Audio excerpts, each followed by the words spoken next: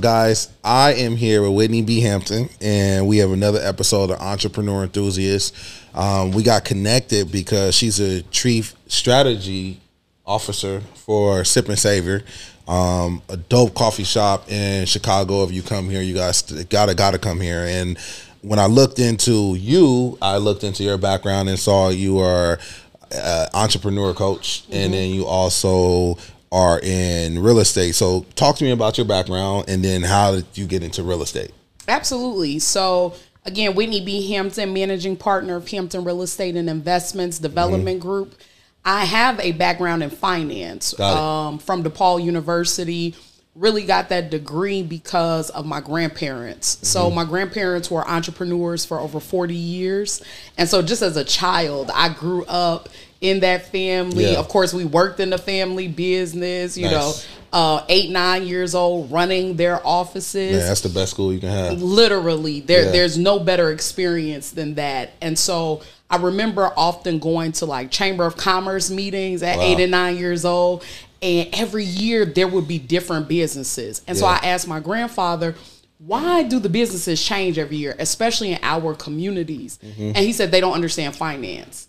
They don't understand how to get money or how to keep money. Yeah. They know how to make it, but they don't know how to keep it. Mm. And so I had said from a young child that I was going to go to school to learn business so that I could help black owned businesses in my community be sustainable. So that is why I went and got my degree. I was not sure how mm-hmm. I would be able to to walk in that purpose. Um, and so in the interim, my family has been doing real estate for a number of years in terms yeah. of rehabs. And so one of a friend of ours said, Whitney, you always are coming up with these great ideas. I had pitched to them that we should do uh, record a reality TV yeah. show pilot and submitted to DIY Network. And so they said, well, you should be a real estate agent then. Yeah. And so then you can represent us when we're doing these rehabs. So they said it. I, on the spot, looked up what it takes to be a real estate broker, signed up for the class the following week, took the class, passed the test the first time, had no intention of using the license outside of um, assisting them with that pilot. Yeah. I ended up um, because I was still working in corporate America at the time. I was taking the Metro downtown. The conductors, mm-hmm. you know, they get to know you on the train every yeah. day. And so I just in passing said, "Yeah, I got my real estate license, and and so I'm going to be shooting this pilot, etc." And one of the conductors asked me for my card, and a month later said, "Listen, I have some cousins that are in the military, wow. live in LA, want to move back to Chicago." Yeah never owned up any property. That side of the family has never owned property, but they want to own. And I told them I'd like to connect them to you. And so I kind of chuckled and said, Did you tell them I've never done this before? and he said, Yes, but I trust your integrity with yeah. me. Um, and so ended up helping them with their first home. They ended up referring me to five of their family members. Oh wow. So I sold all of them property, and that I believed sparked me to say, This is how I can change our communities. Um, because that first closing, they were so emotional, saying that they never thought this will be something that was possible in their family because they had never seen it. So you went from being a real estate agent mm-hmm. um, to launching real estate company and investments after that. What what kind of prompt that? Was it that that attention you were getting, or you were just like go big or go home? So I've always been about ownership, yeah. right? Um, again, coming coming from the family and the, and the legacy that we came from, it's always been about owning. Mm-hmm. And so I wanted to be able to do something that my my kids could be proud of and that they could own. Yeah. And so initially the company was actually called LKM, which was after my daughters.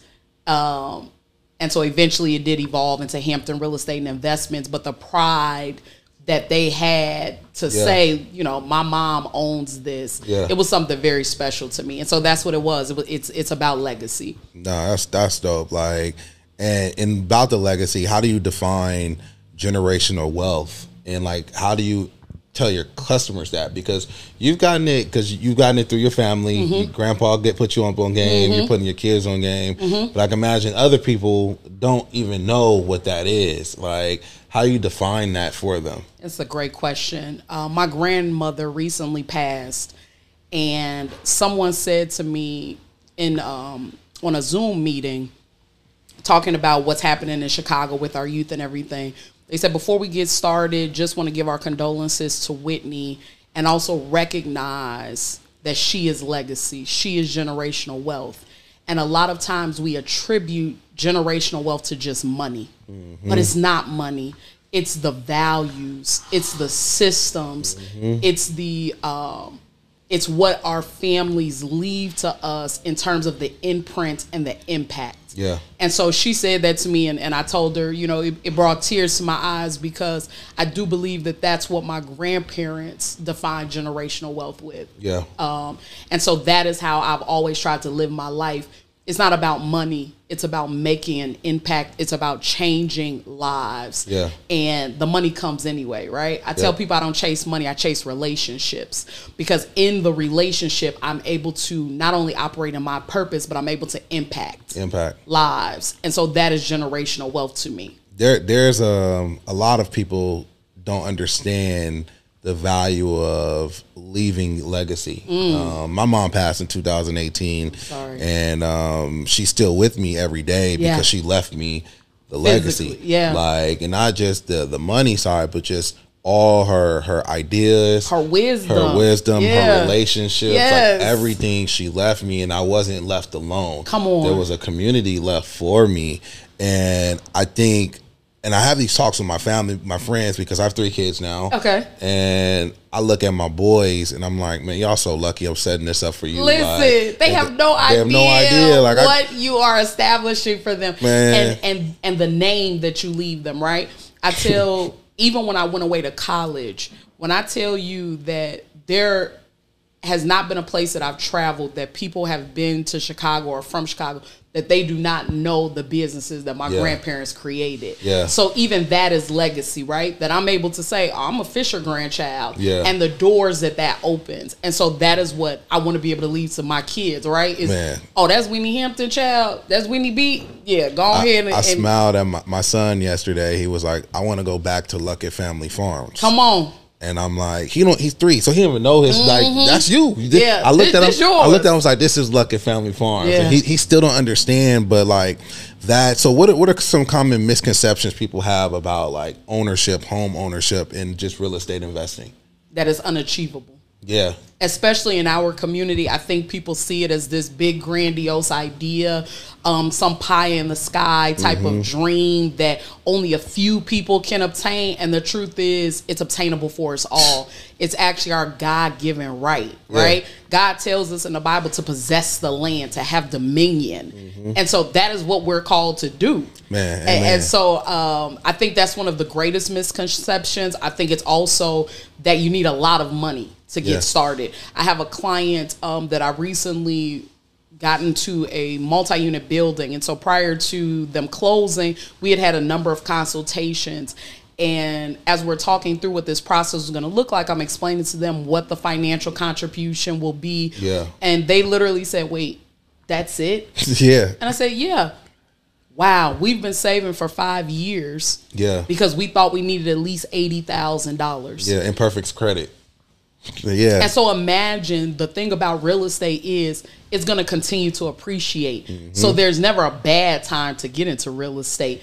What's bad is when you're waiting to get into real yeah. estate. So imagine what could have been obtained in those five years with just that education, just it's that information. Interesting you say that. So when my mom passed, that's the first thing I did was buy property. Mm-hmm. Um, and so now I own three properties. And like I, I had like a 590 credit score. Mm-hmm you know, I had debts and all that. But once I like paid my taxes up, like and applied, you know, I was able to get the first property. I was like, okay, that that was cool. That was that was easy. And then the other property was commercial, and and and I did that through SBA, ten percent. Like, okay, yep. that was easy. Yep. So then I got my third property, and I just said, and now it's addictive, right? Yeah, that's why I tell people yeah. once you start, you never want to stop. I'm like every year I want to do this because yes. I literally I call my me and my mortgage broker. Shout out, shout out to Josh. I talked to him. I'm like.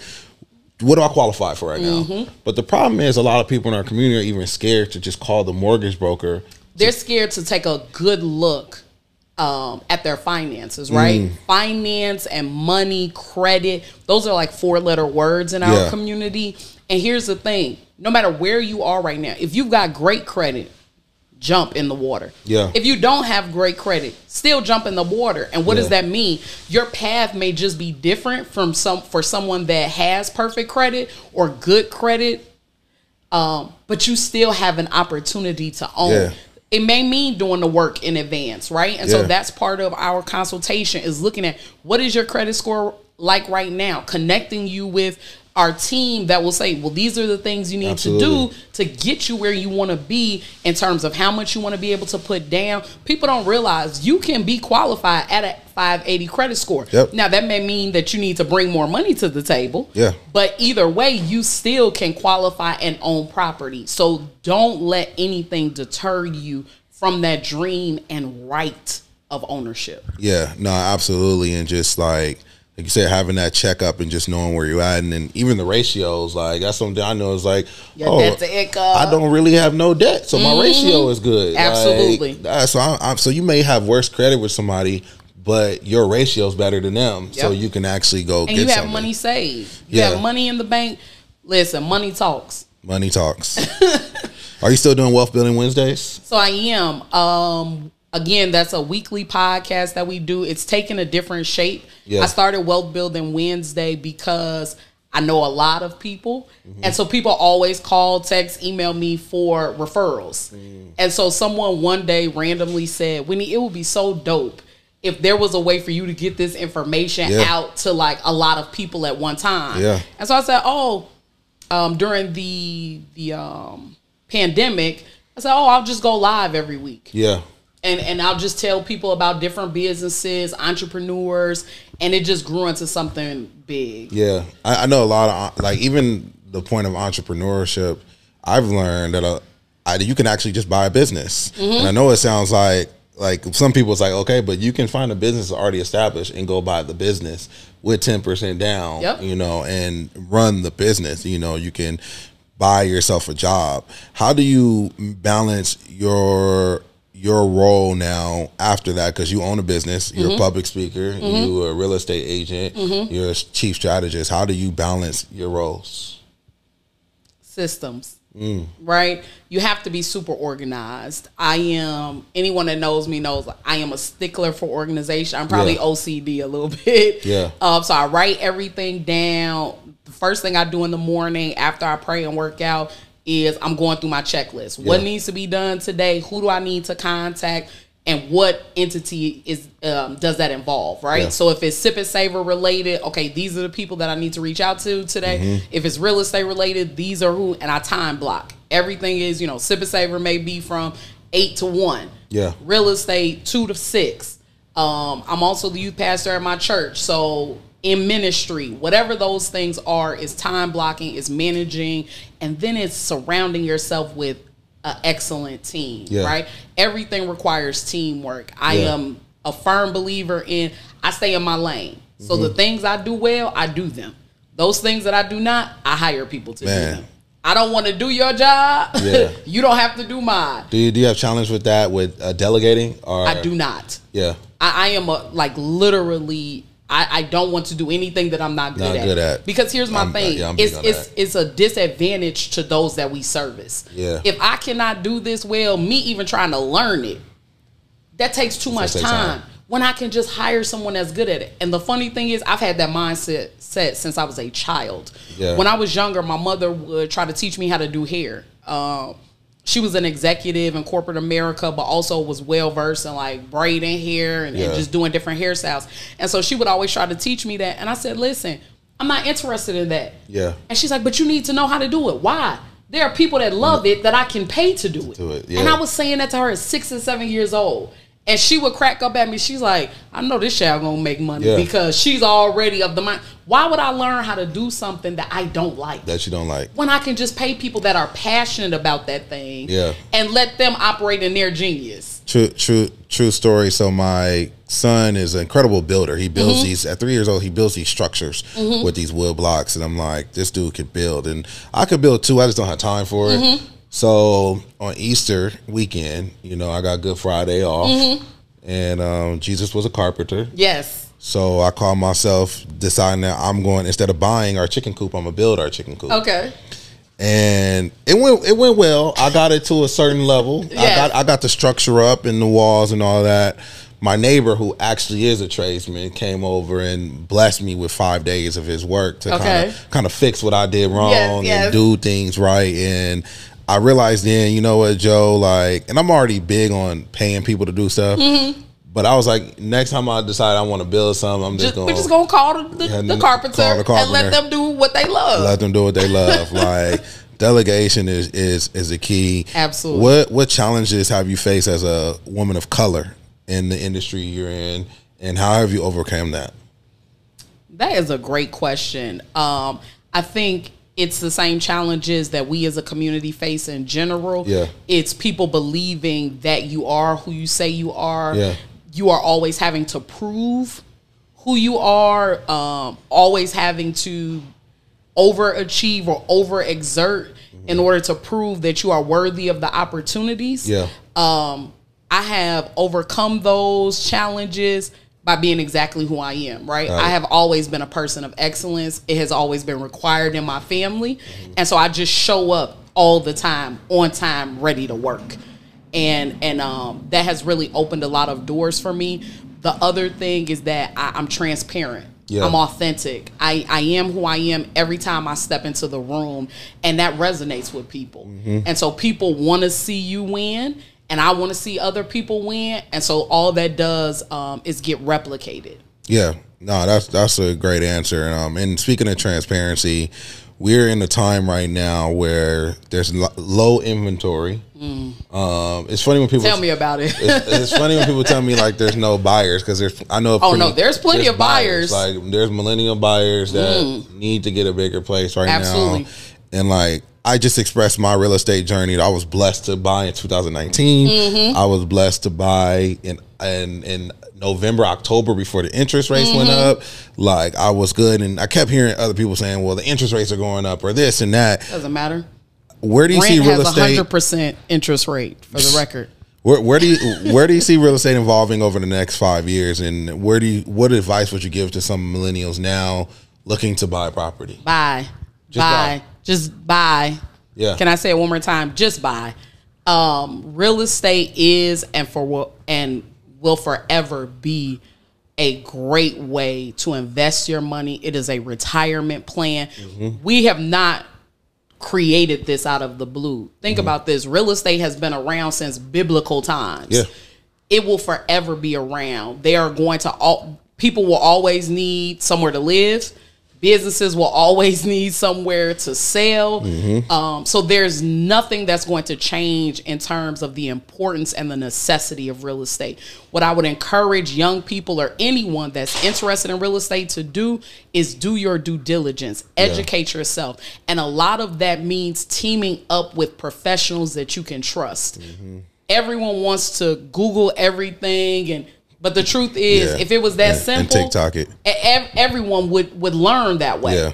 The truth is, the reason why you need a professional is that we shorten that that learning curve, right? So instead of you googling for twenty thousand hours a day, Yeah. you can just come talk to me, and I can answer every question that you have. I can connect you to the people to make what you need happen. Because you guys guys out there, and um, you know, no shade, but like Grant Cardone speaking, Mm-hmm. talking about ten exit and all this, and it's like, bro.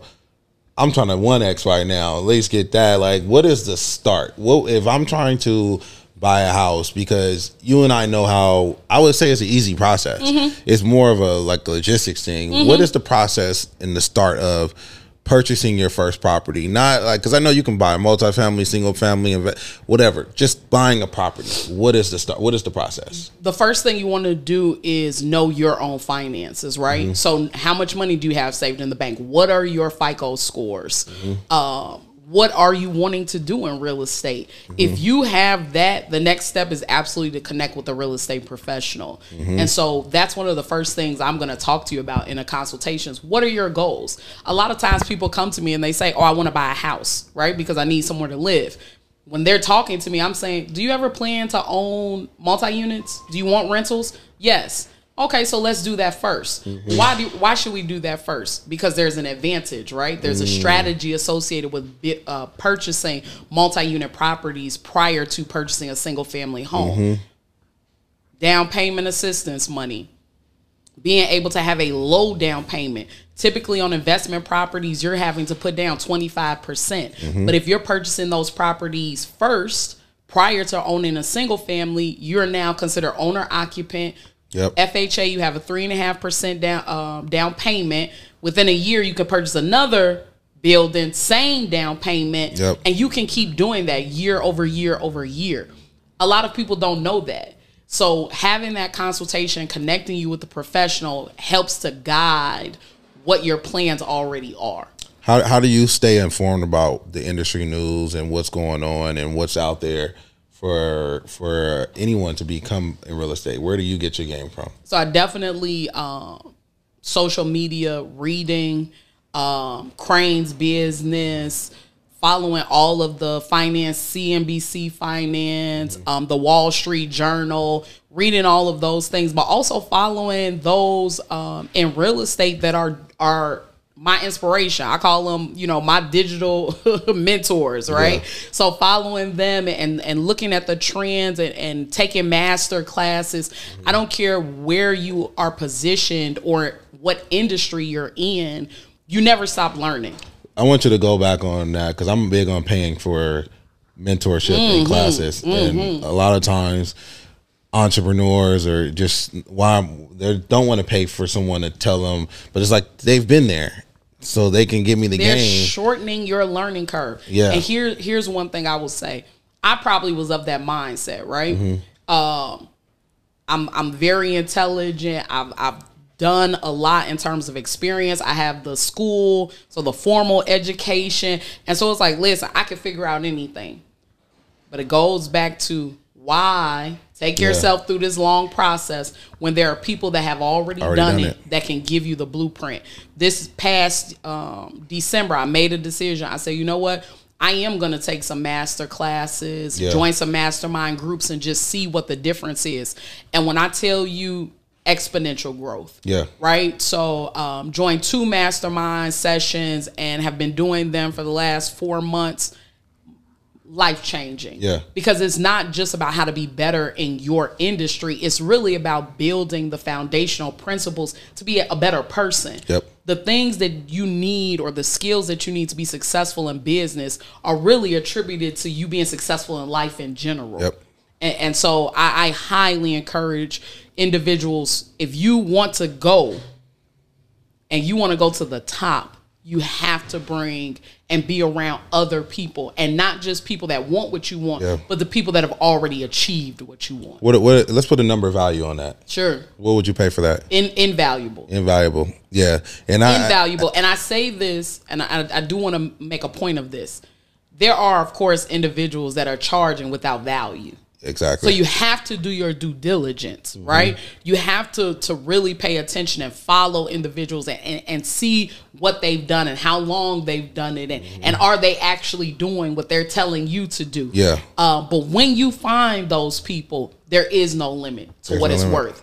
Because again, this is what's going to allow you to surpass even your wildest dreams. Yeah, no, absolutely. I mean, I've I've paid my mentors up to about thirty thousand. Mm-hmm. Come on. for I'm telling you, there's there's no yeah, it's invaluable. and and I, I would say the biggest thing I I got from it is I made the money back just by being in the room, networking with the Mm-hmm. Connections, people, the connections people. relationships. Yeah, yeah, that was that was a, a big part of it. Um, being able to do that. So with most of these these business visuals you have, tell me about a failure or setback that you've experienced that you've overcame. Burnout. Yeah, that's a big one. You got, I you got two entre- daughters. I have one daughter. One daughter. Um, I have two bonus babies. Yeah.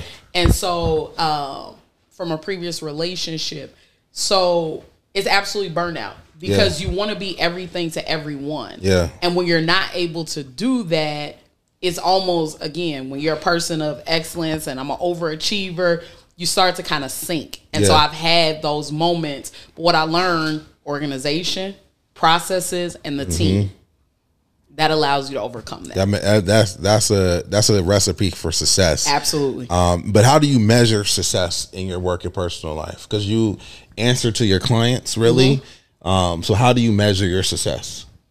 is is multifaceted, right? Mm-hmm. Because real estate is always about numbers. Yeah. So there are there are actual goals and number goals that I, I want to hit and, and that I um, set every quarter.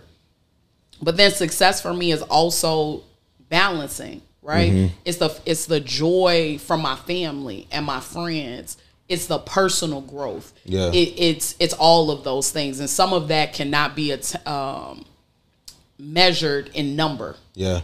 But it's how do I feel every day, right? When I can wake up and I'm smiling and I'm happy, and even when things are going bad, um, being able to to feel peace and to feel joy, that's success to me. I love that. What last question? What's some advice you'll give to someone starting their entrepreneur journey, and what can you give them for doing that? What, what what's some advice you can give someone starting an entrepreneur journey?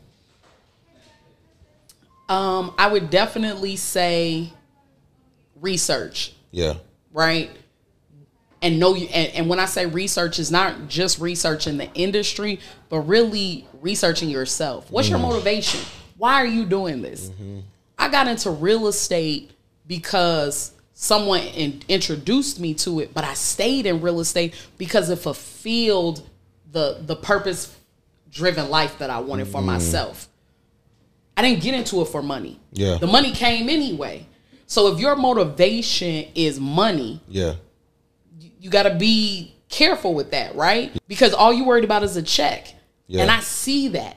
And to me that's scary, right? Because there's no limit to what you'll do. yeah, So I think it's so important that you know why you're getting into entrepreneurship and then you stick to that. A lot of us get into entrepreneurship for freedom. Yeah. And then we lose sight of that, right? Yeah. Because we work 80 hours a week. Yeah. Well, where's the freedom in that? Where's the balance in that? Where's the time? And so knowing what your motivation and your reason for what you're doing and then God allowing that to guide your decisions along Yeah. the way. There there are times where I personally, my son looks at me, my daughter looks at me. I'm like, you know what? Forget this job, and I I know it's going to impact me in the future, Mm-hmm. Yep. Mm-hmm. and I'm not going to get whatever check I was getting. I know I'm not going to get that contract, but that time with them is most important because I can't don't get, get, that, back. You don't get it And back. It's like you can nah. always make a check. I can always but make you can't get the time back. Man, man, that was that was awesome, and I appreciate you uh, being on the podcast. Thank you. with Miss Whitney B. Yes. Hampton. Um, where can people find you? Absolutely. And, and shout out to you in Chicago, but tell people where they can find you at. Absolutely. So you can find me on Facebook, Whitney B. Hampton. You can find me on Instagram, Whitney Hampton underscore realtor. You can um, always catch me in Sip and Savor. We have four locations, a couple more coming. Um, so you can always catch me in, in person at Sip and Savor. Catch her in person at Sip and Savor. Yes. Man, this was an awesome episode, and you. thank you for doing this. You guys that are tuning in to Entrepreneur Enthusiasts, there is no time but now to start your business. Go to the website, get your entrepreneur toolkit. Um, one thing we offer in the toolkit, so you know, is we have website hosting. Okay. We have social media management. We have email marketing. We have text message marketing, missed call text back. Yes. We have appointment calendar and other things mixed in in our software for ninety-seven dollars a month Very cool. or nine ninety-seven for the year. So if you're just getting started, you need those things. Absolutely. Um, going. So check out our toolkit and thank you for coming on the episode. Thank and you. thank you guys for tuning in to the Entrepreneur Enthusiast. Thank